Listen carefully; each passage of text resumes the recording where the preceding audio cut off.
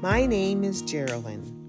I'm 71 years old, and these are my parents, Anna Mae and Arthur.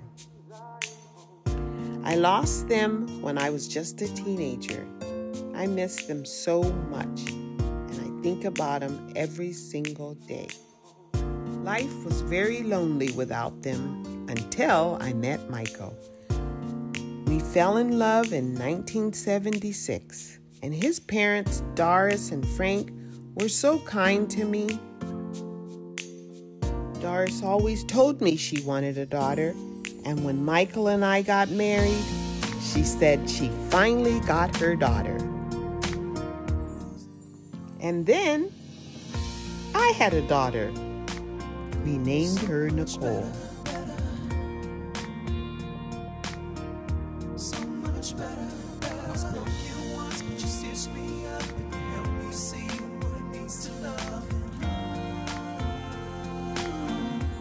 Darras and Frank loved their granddaughter so much, and they welcomed everyone they met with love and kindness. And their love stays with my family and I forever.